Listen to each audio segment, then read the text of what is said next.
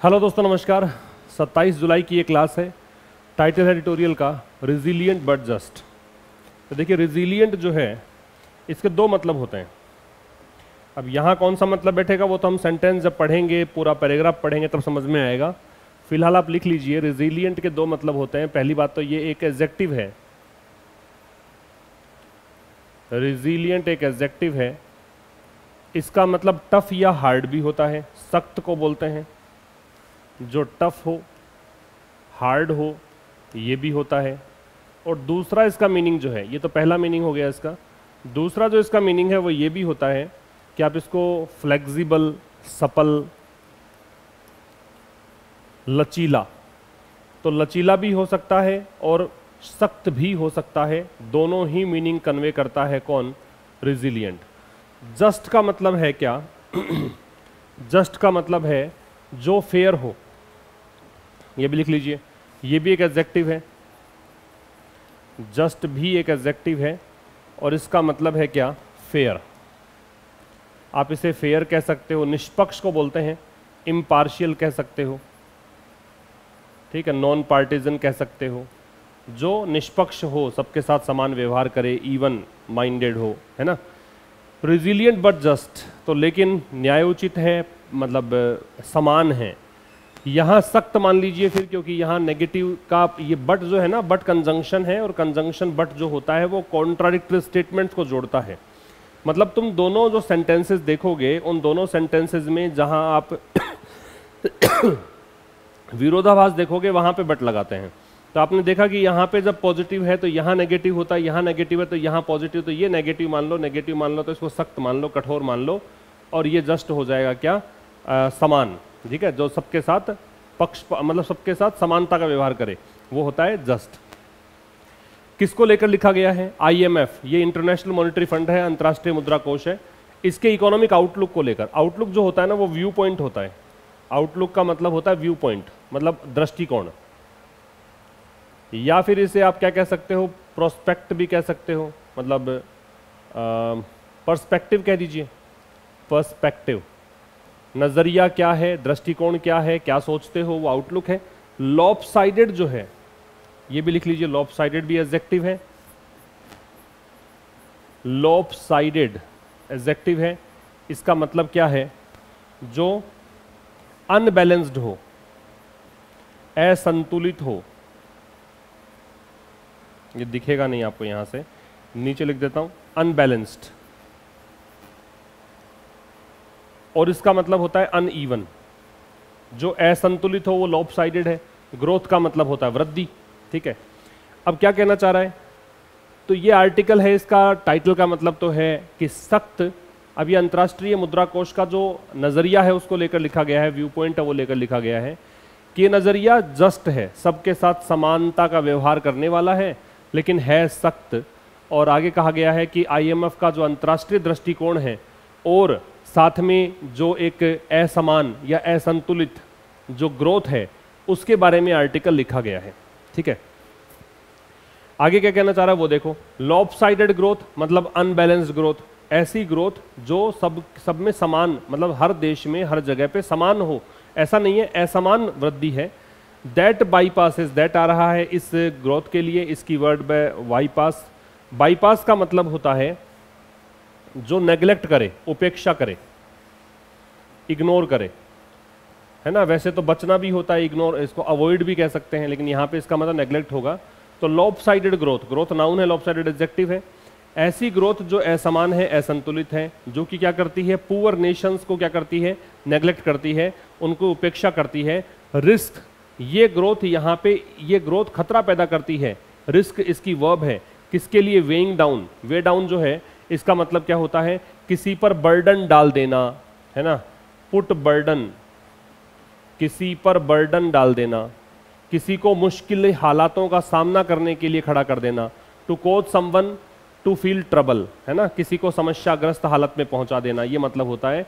तो ये क्या करता है? इसका ये खतरा पैदा कर देता है ग्लोबल इकोनॉमिक एडिफिस एडिफिस का मतलब होता है large impressive building a large impressive building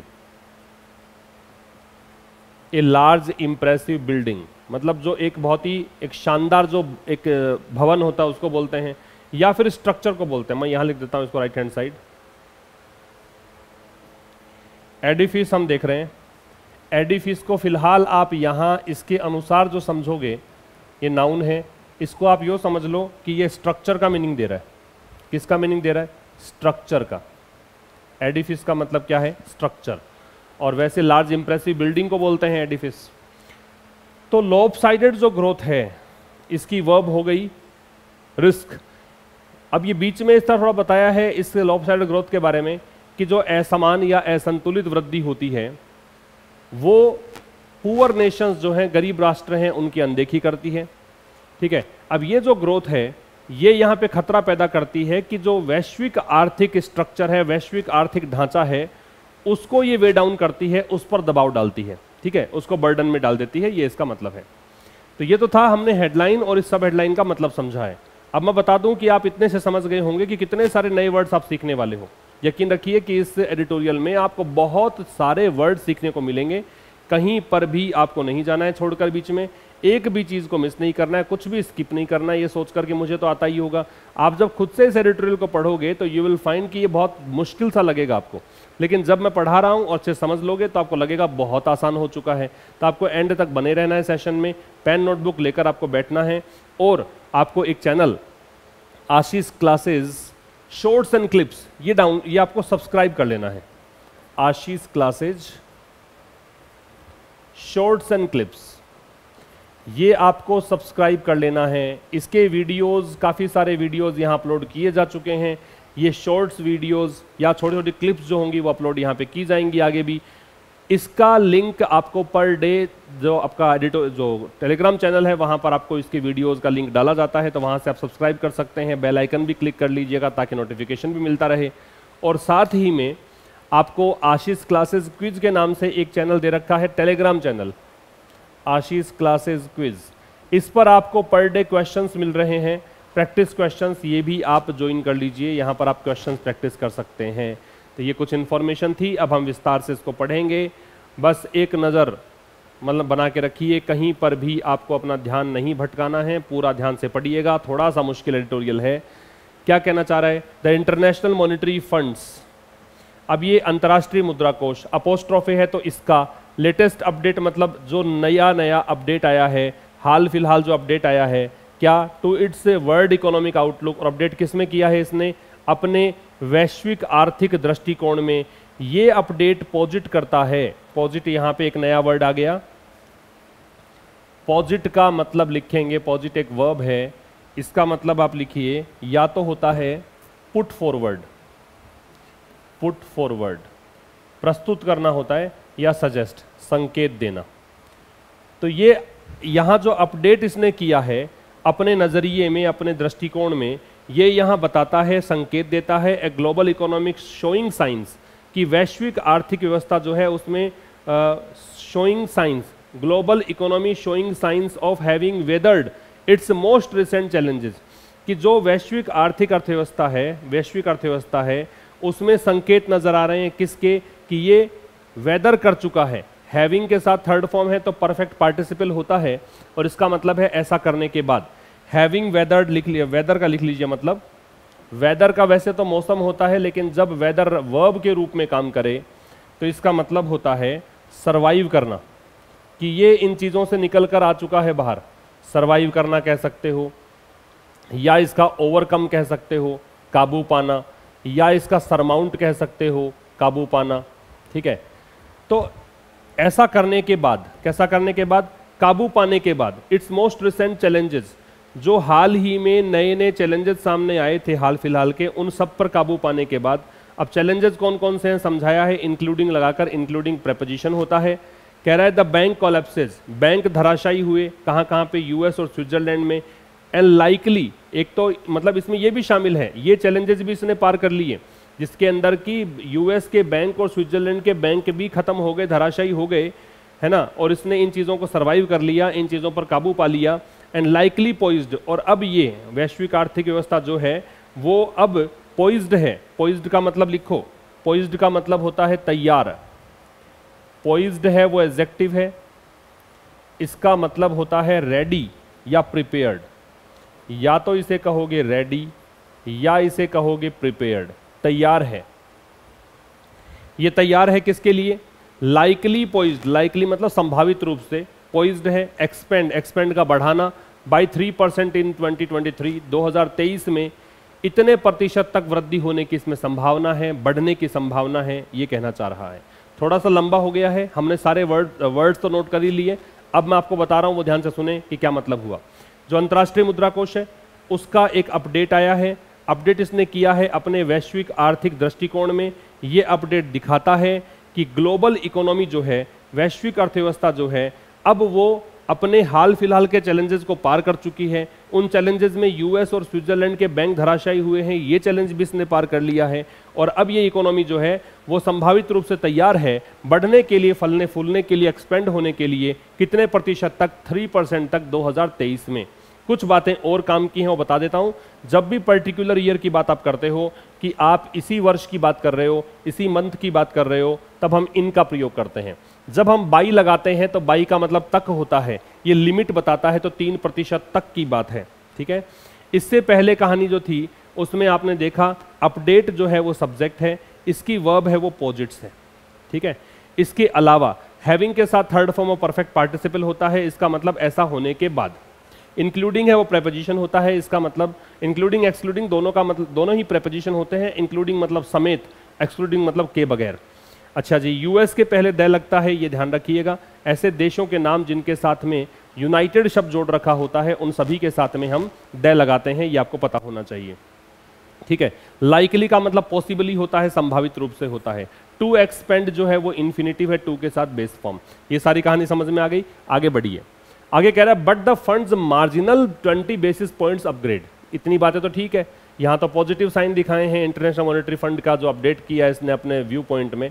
लेकिन जो ये फंड है इंटरनेशनल मॉनिटरी फंड अंतर्राष्ट्रीय मुद्रा कोष, इसका मार्जिनल का मतलब आंशिक 20 बेसिस पॉइंट्स 20 का मतलब 20 बेसिस पॉइंट्स 20 बेसिस पॉइंट्स का मतलब पॉइंट टू ज़ीरो अपग्रेड इसने किया अपने अप्रैल के प्रोजेक्शंस में। प्रोजेक्शंस का मतलब होता है अनुमान।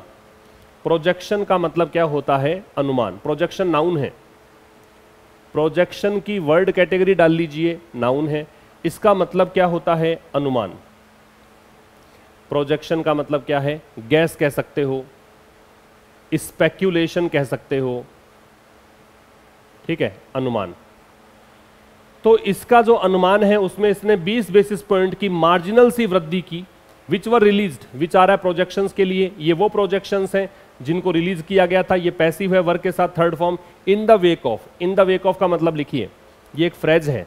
फ्रेज का मतलब है जो ग्रुप ऑफ़ वर्ड्स होता है।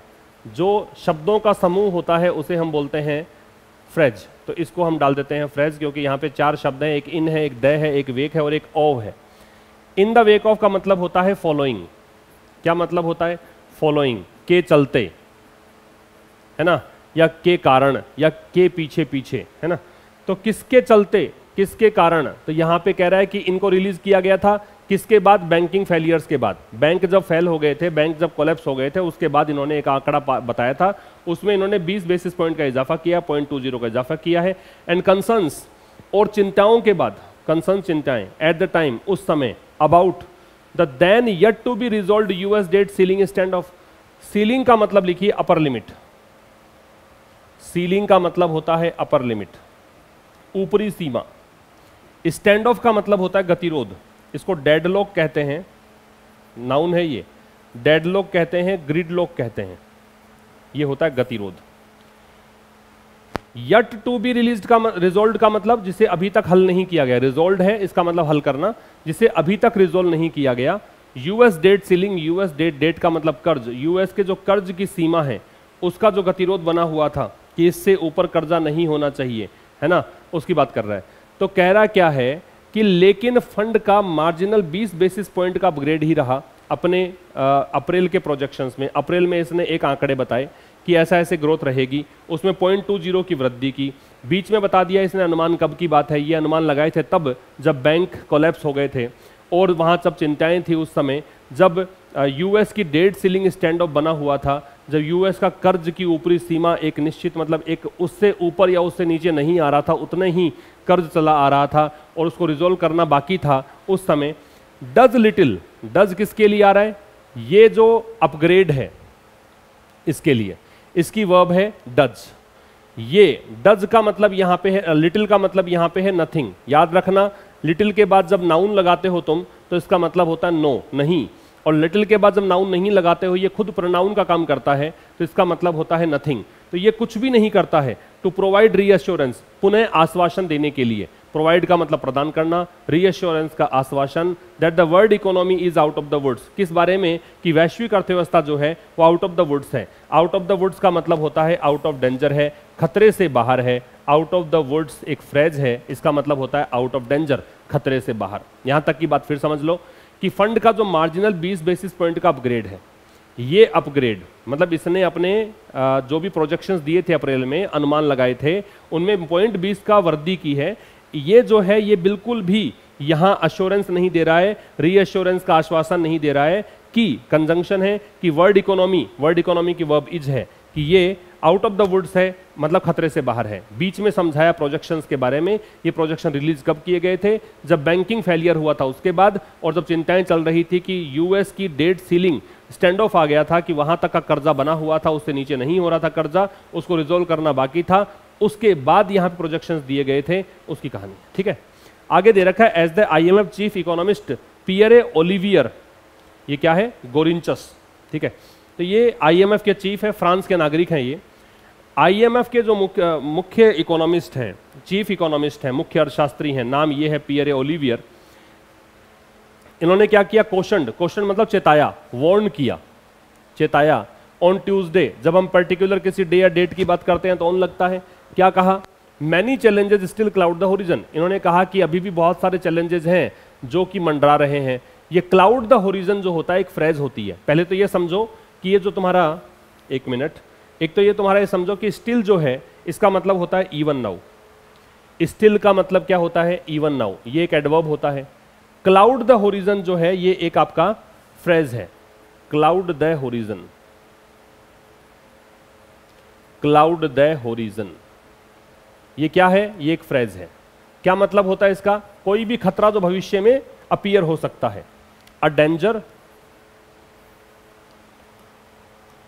a danger that can appear in future जो भविष्य में, जो खतरा पैदा हो सके, जो सामने आ सके, उसको बोलते हैं क्लाउड द होरिजन तो ये जो आईएमएफ के चीफ इकोनॉमिस्ट हैं ओलिवियर जिनका नाम है पियरे ओलिवियर इन्होंने मंगलवार को चेतावनी दी कि बहुत सारे चैलेंजेस मैनी चैलेंजेस की वर्ब मैनी चैलेंजेस की वर्ब क्या है? क्लाउड ये वर्ब की फ़र्स्ट फॉर्म है cloud clouded clouded second third form होती है, ये अभी मंडरा रहे हैं। While some adverse risk adverse का लिख लो अनफेवरेबल अनफेवरेबल या फिर लिख लो नेगेटिव जो नकारात्मक या विपरीत खतरे हैं। हैव मॉडरेटेड वो क्या हो चुके हैं? मॉडरेट हो चुके हैं मतलब बैलेंस हो चुके हैं, थोड़ा कम हुए हैं। वाइल है, वो विरोधाभासी कंजंक्शन है, विपरीत बातें करेगा। हालाँकि कुछ एडवर्स रिस्क हैं, कुछ विपरीत खतरे थे, कुछ ऐसे रिस्क थे जो एडवर्स थे, जो कि अब क्या हो चुके हैं मॉडरेट हो चुके हैं प्रेजेंट परफेक्ट टेंस है हैव के साथ third form the balance remains tilted to the downside लेकिन बैलेंस द बैलेंस मतलब जो बाकी चीज़ है रिमेन्स टिल्टेड वो अभी भी झुकी हुई है, ठीक है? मतलब कुछ तो एडवर्स रिस्क हो चुकी है थोड़ी कम, लेकिन फिर भी बचा कुछ ही चीज़ें जो हैं, वो अभी बनी हुई हैं। बैलेंस की वर्ब है रिमेन्स टिल्टेड मतलब झुकना, टिल्ट का मतलब होता है इंक्लाइन करना। झुकना, ठीक है? तो ये अभी भी झुकी हुई है डाउन साइड मतलब नीचे की ओर, ठीक है? रिपीट कर रहा हूँ। यहाँ पे इन्होंने गुरु मंगलवार को चेतावनी दी कि बहुत सारे चैलेंजेस अभी भी मंडरा रहे हैं, खतरे मंडरा रहे हैं। हालाँकि कुछ जो विपरीत खतरे थे एडवर्स रिस्क थी, वो थोड़ी कम हो चुकी है, लेकिन अभी भी बाकी चीज़ जो है, वो झुकी हुई है किस तरफ़? नीचे की तरफ़, ठीक है? मतलब खतरे अभी भी बाकी हैं। दैट रिस्क अबाउंड अबाउंड का मतलब होता है बी प्लेंटीफुल अबाउंड एक क्रिया है, इसका मतलब होता है बी प्लेंटीफुल बहुत सारी मात्रा में होना, बहुत अधिक संख्या में होना। अब देखिए, ये बात की रिस्क अबाउंड खतरे बहुत ज़्यादा हैं। खतरे तो प्लेंटीफुल हैं। बोथ नॉन एंड अनसाइटेड कि दोनों ही हैं। कुछ खतरे ऐसे हैं जिनके बारे में पता है, कुछ ऐसे हैं जो अनसाइटेड हैं। साइट का मतलब दृष्टि होता है अनसाइटेड जो दिखाई नहीं दे रहे हैं, जिनको देखा नहीं गया है। बोथ के साथ में एंड लगेगा, ध्यान रखेंगे, ठीक है? ये जो मैं इतना चिल्ला चिल्ला के पढ़ाता हूँ आपको, ये जो मैं आपको एक एक बातें बताता हूँ, वो इसीलिए है कि आप लोग हर बात को नोट करेंगे और जब नेक्स्ट सेशन देखेंगे तो उसको पढ़कर आएँगे रिवीजन करके आएँगे, क्योंकि जब तक आप नहीं सीखेंगे, तब तक मेरा ये करना सार्थक नहीं है। आप चाहते हैं कि जो सिखाने वाला है जो ट्यूटर है आपका, उसको भी सेटिस्फेक्शन मिले तो आप में इंप्रूवमेंट आना चाहिए। और इंप्रूवमेंट आएगा आपकी खुद की मेहनत से, है ना? मेरी मेहनत से इंप्रूवमेंट नहीं आएगा। मेरी मेहनत से तो आप इतना ही है कि ठीक है गाइडेंस मिल रहा है डायरेक्शन मिल रहा है, बाकी अल्टीमेटली मेहनत वो खुद को करनी पड़ेगी। क्या कह रहा है? दैट रिस्क अबाउंड कि खतरे जो हैं अभी क्या हैं? बहुत सारी मात्रा में है, बहुत अधिक संख्या में है। दोनों प्रकार के खतरे हैं नॉन भी है और अनसाइटेड भी हैं। पता है उन खतरों के बारे में ऐसा भी है। अनसाइटेड है मतलब जिनके बारे में नहीं पता है, जिनको नहीं देखा गया ऐसा भी है। तो ये जो चीज़ है दैट आ रहा है इस चीज़ के लिए। ठीक है? Would be an understatement understatement का मतलब एक होता है एग्जरेशन है ना? इसको मतलब तो होता है अतिशोक्ति बढ़ा चढ़ाकर बोलना। और एक किसी चीज़ को बोलना है, उससे भी कम बोलना। तो ये तुमने थोड़ा कम ही बताया है। तो ये वुड बी वुड बी मतलब ऐसा होगा। इमेजिनरी सेंटेंस है, कल्पना कल्पना कर रहे हो कि जब तुम कह रहे हो कि खतरे बहुत ज़्यादा हैं, इतना कहना पर्याप्त नहीं है। इससे भी कहीं ज़्यादा चीज़ें हैं। फॉर स्टार्टर्स स्टार्टर्स जिन्होंने स्टार्ट किया है अभी अभी कुछ चीज़ें, ठीक है? स्टार्टर्स के लिए दो सबसे बड़ी जो इकोनॉमीज़ हैं, जो भी स्टार्टअप डालते हैं, जो भी नए उद्योग धंधे स्थापित करते हैं, उनके लिए जो दो सबसे बड़ी अर्थव्यवस्थाएँ हैं एक है यूनाइटेड स्टेट दूसरी है China have slowed down appreciably appreciably का मतलब नोट करो. एप्रिशिएबली यहाँ पे एडवर्ब है. एप्रिशिएबली यहाँ पे क्या है साहब? एडवर्ब इसका मतलब क्या है? इसका मतलब है कंसिडरेबली एप्रिशिएबली का मतलब क्या है? कंसिडरेबली या सिग्निफिकेंटली बहुत ज़्यादा. सिग्निफिकेंटली भी कह सकते हो. और कंसिडरेबली भी कह सकते हो बहुत ज़्यादा। देखो, भरा पड़ा है आज का सेशन वो कैबलरी से। काफ़ी नई चीज़ें आपको सीखने को मिल रही हैं। तो स्टार्टर्स के लिए जो दो सबसे बड़ी अर्थव्यवस्थाएँ हैं, नाम बता दिए ये वाले। अब ये अर्थव्यवस्थाओं की वर्ब है हैव स्लोड हैव के साथ थर्ड फॉर्म लगनी ही है प्रेजेंट परफेक्ट है। वो धीमी पड़ चुकी है और धीमी भी कितनी? बहुत ज़्यादा। एंड फेस और इनका ये सामना कर रही है इंक्रीज्ड अनसर्टेनिटी मतलब इंक्रीज्ड मतलब बढ़ी हुई अनसर्टेनिटी मतलब अनिश्चितता। और काफ़ी ज़्यादा अनिश्चितता का सामना कर रही हैं। Amid global and domestic headwinds. Headwind का मतलब क्या होता है? हेडविंड का मतलब होता है एडवर्स सिचुएशन। दो प्रकार की विंड होती है। एक होती है हेड विंड्स एक होती है टेल विंड्स हेड विंड जो होती है वो सामने से आती है हवा, और सामने से हवा है तो डेफिनेटली आपको गति नहीं मिल पाएगी। आपको मुश्किलों का सामना करना पड़ेगा, और एक पीछे से हवा आए तो आपको गति मिलती है तो वो फेवरेबल कंडीशन होती है। तो अगर कंडीशन विपरीत है, तब तो करोगे हेड विंड्स और अगर कंडीशन आपके पक्ष में है तो उसको बोलोगे टेल विंड्स ठीक है? तो ये एडवर्स सिचुएशन है, विपरीत परिस्थितियाँ हैं. तो ये कह रहा है कि ये दो सबसे बड़ी अर्थव्यवस्थाएँ स्लो डाउन हो चुकी हैं स्लो डाउन कैसे हुई हैं, ये एडवर्ब है बहुत ज़्यादा. और अब इनका सामना है तो ये इसी की वर्ब है फेस इंक्रीज्ड एजेक्टिव है अनसर्टेनिटी नाउन है अमिड प्रेपोजिशन है global and domestic global adjective and conjunction domestic adjective headwinds noun amid मतलब के बीच। तो देखो, वैश्विक स्तर पर देख लो या घरेलू स्तर पर देख लो, स्थितियाँ विपरीत हैं। इस बीच यहाँ पे इनको बहुत ज़्यादा अनिश्चितताओं का सामना भी करना पड़ रहा है किसको? यूएस को और चाइना को।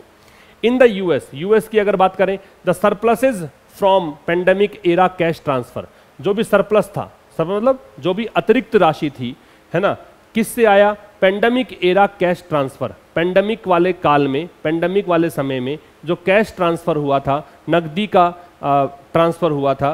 मेड टू हेल्प फैमिलीज़ अब ये जो सरप्लसेज जो थे, अब सरप्लसेज की वर्ब है made to help families tide over the distress wrought by COVID nineteen wrought का मतलब लिख लो कोज्ड के कारण। टाइड ओवर का मतलब लिख लो सरवाइव करना सरमाउंट करना मतलब एक प्रकार से उभरना। ठीक है? तो क्या कह रहा है? जो भी सरप्लसेस थे कोविड वाले समय के अंदर जो कैश ट्रांसफ़र हुआ था वो मेड टू हेल्प फैमिलीज़ वो किस लिए किए गए थे? ये इसलिए किए गए थे ताकि परिवारों को हेल्प मिल सके। किससे हेल्प मिल सके? इस आपदा से, इस आपदा पर काबू पाने के लिए। डिस्ट्रेस का मतलब क्या होता है? संकट। डिस्ट्रेस का मतलब क्या होता है? संकट। आप इसे क्या कह सकते हैं? संकट कह सकते हैं। संकट मतलब एडवर्स सिचुएशन कह सकते हैं। डिस्ट्रेस का मतलब ये है। किस कारण संकट पैदा हुआ था? कोविड 19 के कारण। And the cost of living crisis in its aftermath और उसके बाद में जीवन जीने की जो एक कॉस्ट ऑफ़ लिविंग जो होती है, जीवन जीने के जो पैसा चाहिए, वो संकट पैदा हो गया था in the aftermath aftermath का मतलब होता है के परिणाम स्वरूप। आफ्टर मैथ का मतलब होता है रिज़ल्ट नाउन है ये। Have all but depleted all but का मतलब होता है नियरली ऑल बट का मतलब ये भी होता है, इसके अलावा सब एक्सेप्ट ऑल लेकिन इसका मतलब यहाँ है नियरली डिप्लीट का मतलब होता है क्षय हो जाना, कम हो जाना। रिड्यूस हो जाना वीकन हो जाना, कमज़ोर पड़ जाना इरोड हो जाना, ये सब खत्म हो गए हैं, ये सब कमज़ोर पड़ गए हैं। फिर समझ लीजिए यूएस के अंदर जो भी सरप्लस था जो पेंडेमिक एरा कैश ट्रांसफ़र से आया था, ठीक है, ये किसके लिए किया गया था? अतिरिक्त ये जो धनराशि है किस लिए दी गई थी? ये परिवारों की हेल्प करने के लिए दी गई थी, ताकि वो कोविड 19 के कारण जो उनको संकट पैदा हुआ है, उस पर काबू पा सकें। और साथ में जो कॉस्ट ऑफ़ लिविंग एक क्राइसिस आ गया था, इसके परिणाम स्वरूप इन सब, ये सब जो चीज़ें हैं, ये जो सरप्लसेज हैं, ये क्या हो चुके हैं? खत्म हो चुके हैं। अब सरप्लस रहा ही नहीं है। इसको रिड्यूस भी कह सकते हो, इसको एंड भी कह सकते हो। डिप्लीट का मतलब क्षय हो जाना भी होता है डिप्लीट का मतलब एग्जॉस्ट हो जाना भी होता है, खत्म हो जाना भी होता है ड्रेन भी होता है। ये इसके एग्जैक्ट मीनिंग इस कॉन्टेक्स्ट में सही बैठेंगे। ये रिज़ल्ट था ही। तो जितना भी सरप्लस आया था पेंडेमिक एरा कैश ट्रांसफ़र से, जो परिवारों की हेल्प करने के लिए दिया गया था, ताकि वो कोविड 19 के कारण जो संकट पैदा हुआ उसका सामना कर सकें और कॉस्ट ऑफ़ लिविंग जो क्राइसिस है उसका सामना कर सकें, इसके परिणाम स्वरूप जो पैदा हो गया था, ये सब सरप्लसेज जो हैं, जो अतिरिक्त पैसा था, वो सब खत्म हो चुका है। ठीक है? China's post reopening rebound rebound का मतलब लिखिए बाउंस बैक बाउंस बैक फिर से उछाल आना। आप इसको स्प्रिंग बैक भी कह सकते हैं। स्प्रिंग बैक फिर से उछाल आना, ठीक है? तो कह रहा, चाइना का जो post reopening rebound post reopening मतलब वापस से जो लॉकडाउन के बाद वापस से मार्केट खुला, उसको रीओपन कहा गया है। और पोस्ट रीओपनिंग का मतलब हो गया, उसके बाद के जो बाउंस बैक किया था, उसके बाद एक बार से उछाल आया था, है ना? उस चीज़ ने has begun to fizzle out fizzle out का मतलब होता है डाई डाउन धीरे धीरे खत्म हो जाना to end slowly die down होता है फिजल आउट वो भी धीरे धीरे खत्म होना शुरू हो गया है। बिगन जो है, वो बिगिन की थर्ड फॉर्म है। एक होता है बिगिन इसकी सेकेंड फॉर्म होती है बिगेन और इसकी थर्ड फॉर्म होती है बिगन ये इसकी first form second form third form है। बिगिन बिगेन बिगन बात समझ में आ रही है? तो क्या कहना चाह रहा है? कि चाइना का जो रीओपन करने के बाद एक बाउंस बैक हुआ था, वो बाउंस बैक ये रीबाउंड की वर्ब है हैज़ बिगन ये शुरू हो गया है धीरे धीरे खत्म होना with the economy floundering on the shoals of a contraction on the shoals of का मतलब मान लो इसके कारण। ठीक है, वैसे शोल तो मछलियों का समूह होता है या बहुत बड़ी भीड़ को बोलते हैं, लेकिन यहाँ पे ऑन द शोल्स ऑफ़ का मतलब मान लो इसके कारण। फ्लाउंडर का मतलब होता है स्ट्रगल करना। फ्लाउंडर का मतलब क्या होता है? स्ट्रगल करना, संघर्ष करना। अब यहाँ पे अर्थव्यवस्था जो है वो संघर्ष कर रही है। किसके चलते संघर्ष कर रही है? कॉन्ट्रैक्शन के चलते। कॉन्ट्रैक्शन क्या होता है? रिडक्शन संकुचन। In the key real estate sector की का मतलब होता है इंपॉर्टेंट वाइटल जो महत्वपूर्ण रियल ईस्टेट वाला क्षेत्र है, उसमें संकुचन हुआ है, इस कारण से यहाँ पे अर्थव्यवस्था संघर्ष कर रही है। कंबाइंड विद वीकनिंग कंजम्पशन इसके साथ साथ कंबाइंड विद का मतलब है, इसके साथ साथ और कौन से फैक्टर हैं? वीकनिंग कंजम्पशन कंजम्पशन यहाँ कमज़ोर पड़ रहा है, उपभोग यहाँ कमज़ोर पड़ रहा है एंड स्लम्पिंग स्लम्प का मतलब है स्लोइंग और धीमा पड़ रहा है मंदी यहाँ पे देखने को मिल रही है ओवरसीज डिमांड में। ओवरसीज का मतलब होता है फॉरेन। विदेशी डिमांड में यहाँ कमी देखने को मिल रही है। फॉर इट्स एक्सपोर्ट किसके लिए? इसका निर्यात के लिए। इसका निर्यात भी नहीं हो पा रहा है। फिर समझ लीजिए, यहाँ चाइना में क्या हुआ? चाइना में जो रीओपन करने के बाद मार्केट को बाउंस बैक आया था, वो धीरे धीरे खत्म होना शुरू हो गया है। अर्थव्यवस्था वहाँ की संघर्ष कर रही है। किसके चलते संघर्ष कर रही है? जो मुख्य रियल इस्टेट सेक्टर है, उसमें कॉन्ट्रैक्शन के चलते और साथ साथ में यहाँ पे कंजम्पशन वीकन हुआ है और साथ साथ में जो फॉरेन डिमांड है, वो भी कम हुई है इसके एक्सपोर्ट के लिए। ठीक है? तो ये था आज के इस एडिटोरियल में। अब हम मिलेंगे कल ठीक शाम पाँच बजे मंडे टू संडे आप सेशन देखिए पाँच बजे। हर सेशन को ज़िम्मेदारी से लाइक करके जाएँ, अपने दोस्तों के साथ शेयर करें। मिलते हैं कल ठीक शाम पाँच बजे। तब तक के लिए नमस्कार। Thank you very much